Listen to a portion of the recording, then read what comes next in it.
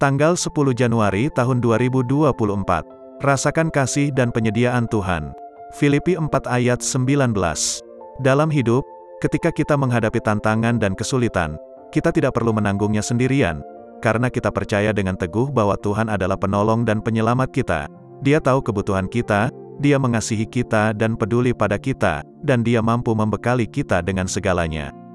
Baca artikel ini, dan rasakan kasih dan kepedulian Tuhan kepada kita, sehingga Anda punya kesempatan untuk mendapatkan perbekalan Tuhan yang melimpah. Ini adalah ayat Alkitab yang penuh dengan iman dan harapan, yang menyampaikan sebuah pesan penting kepada kita. Tuhan adalah sumber dan penyedia kita, dan Dia mampu memenuhi semua kebutuhan kita, baik jasmani maupun rohani. Namun Tuhan tidak membekali kita berdasarkan kemiskinan dan kekayaan kita, melainkan berdasarkan kelimpahan kemuliaannya. Artinya, Perbekalannya tidak terbatas, penuh rahmat dan kemuliaan, bahkan melebihi segala kebutuhan kita. Oleh karena itu, ketika kita membaca ayat Alkitab ini, kita akan bisa merasakan kasih dan perhatian Tuhan kepada kita.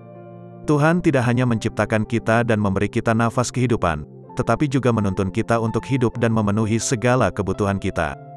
Pada saat yang sama, Dia juga menyertai kita, menghibur dan membimbing kita, memberi kita kedamaian dan sukacita. Semua ini adalah kasih Tuhan yang tanpa pamrih kepada kita.